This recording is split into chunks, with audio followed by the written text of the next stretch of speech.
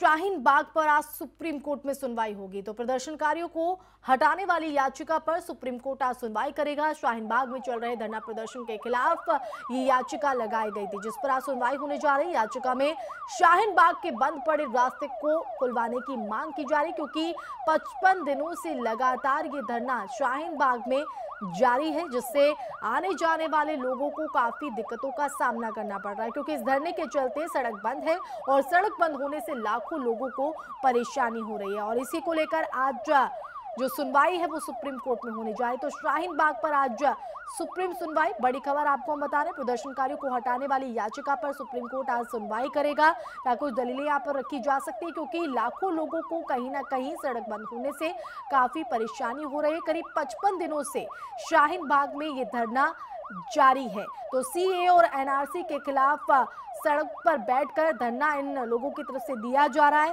ऐसे में सड़क बंद होने से लोगों को आवाजाही में दिक्कतों का सामना करना पड़ रहा है। लंबा रूट लेकर जो है गुजरना पड़ रहा है।